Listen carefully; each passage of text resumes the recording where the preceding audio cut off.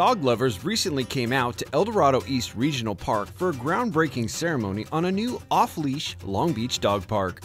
What is happening is that we are doing the dedication for the first dog park on this side of town. It's a 1.5 acre park.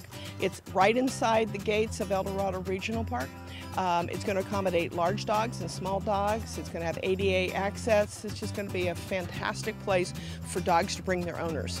Our animals are looking forward to it. We don't want to drive to Seal Beach anymore. We want to be right here because we're only like a mile away. Just like humans, dogs enjoy relaxing in the park after a hard day at work. This new 1.5 acre park will offer double gate entry with separate areas for large and small dogs, a drinking fountain, and other amenities.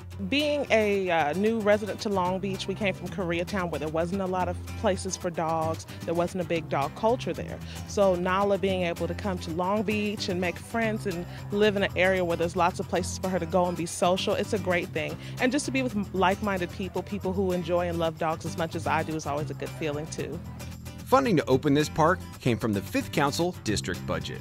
Once the gates open, district representatives hope that the dog owner community will embrace the new park.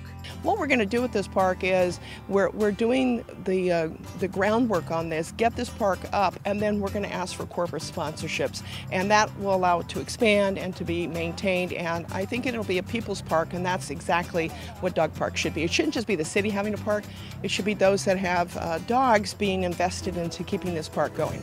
The El Dorado East Dog Park is scheduled to open at the end of the year.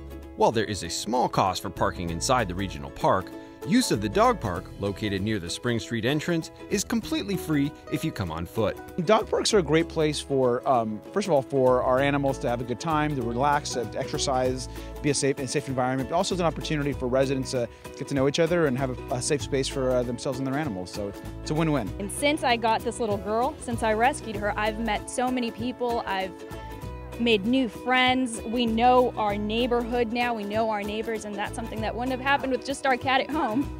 For more information on this new Eastside Dog Park or to find a dog park near you, call 562 570 3150 or visit lbparks.org.